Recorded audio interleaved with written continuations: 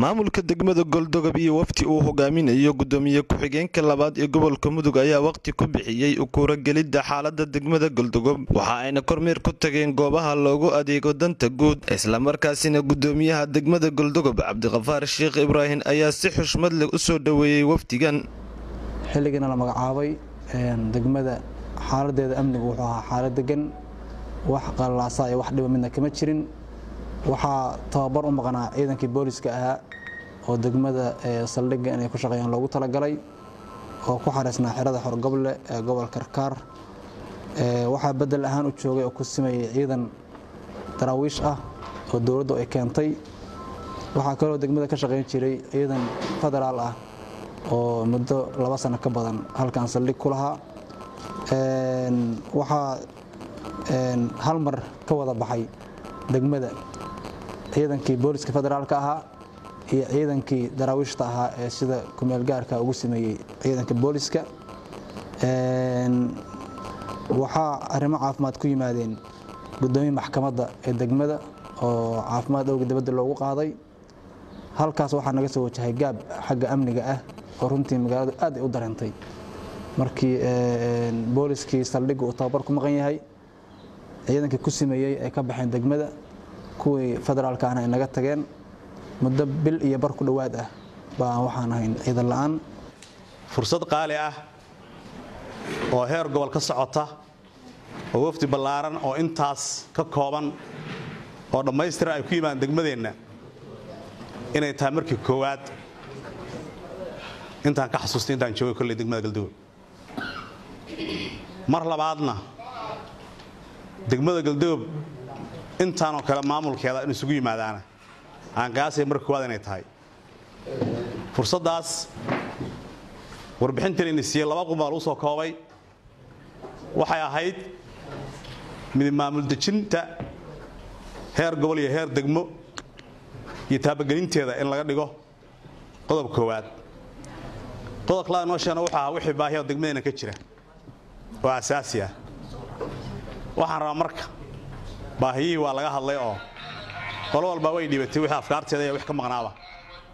Laakiin mid maamuldaajinta waxaan rabaa inaan fursad yar ah fariin dhiibto oo ku aadan mas'uuliyiinta heer goboloo maanta meeshaan maraya. Sida keliya oo lagu daadejin karo maamulkooda waxay tahay. Xiriir joogto ah oo maamulka gobolka degmada leh.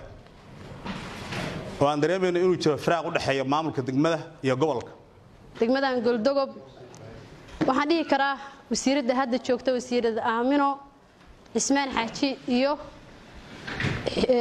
iskuduwaha xiriirka gobollada agaasinka xiriirka gobollada ladan cabdifaarax labada gabdhood oo hadda wasaaradda haweenka noogu sarreeya iyo bishaare maxamed oo ah iskuduwihii gobolka wasaaradda haweenka u fadhiday.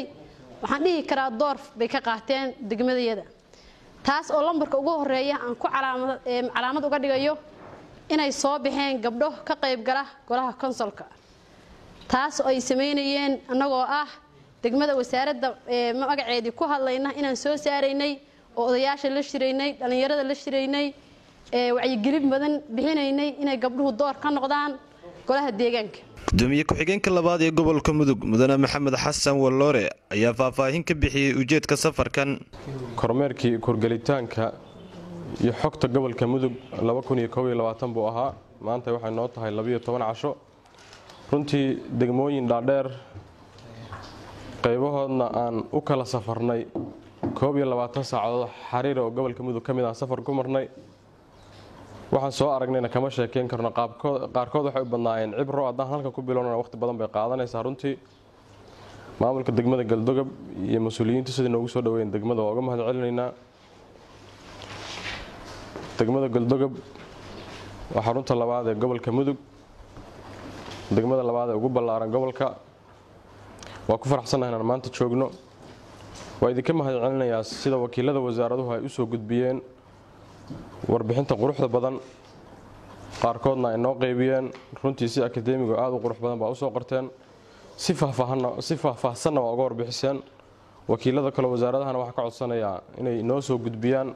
Intaan joogno qoraaladooda kormeerkaana waa kormeerkii ugu ballaarnaa oo muddooyinkii u dambeeyey gobolka aan laga qaban oo ah sanadkan aan bilownay. Bashaar xuseen warsame puntland t v degmada goldogob